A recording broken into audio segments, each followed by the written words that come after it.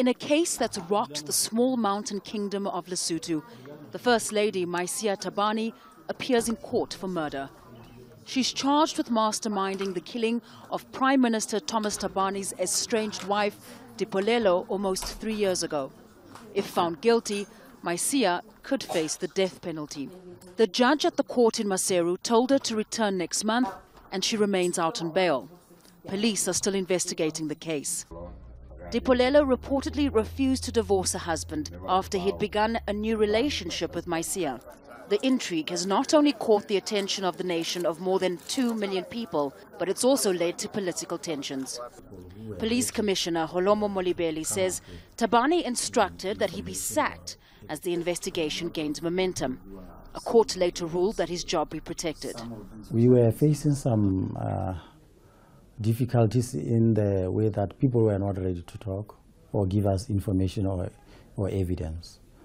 But of late, we, we, we could sense that people are coming in droves to give us information and intelligence.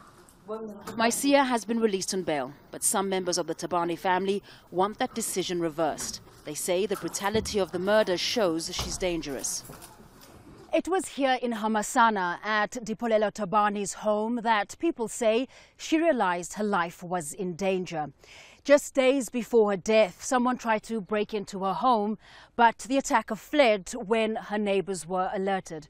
Within days, Dipolelo was shot and killed on this road while traveling home with a friend. Witnesses say four men fired at a vehicle. They're too afraid to speak to us on camera, saying they fear for their safety. Both Maesaiah and her lawyer declined requests for an interview, but in court papers she's denied having anything to do with the murder and says the police have acted maliciously. Prime Minister Thabane has been linked to the crime too but hasn't been charged. Police say a call was made to his mobile phone from the scene of following the murder. He is not the kind of guy who would plot a murder.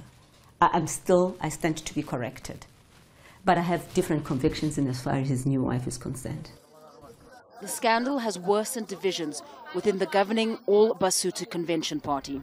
While some within the party support Thabane, others want him to resign. For people in Lesotho, these developments may be unprecedented, but remain a test for their democracy and the independence of its courts.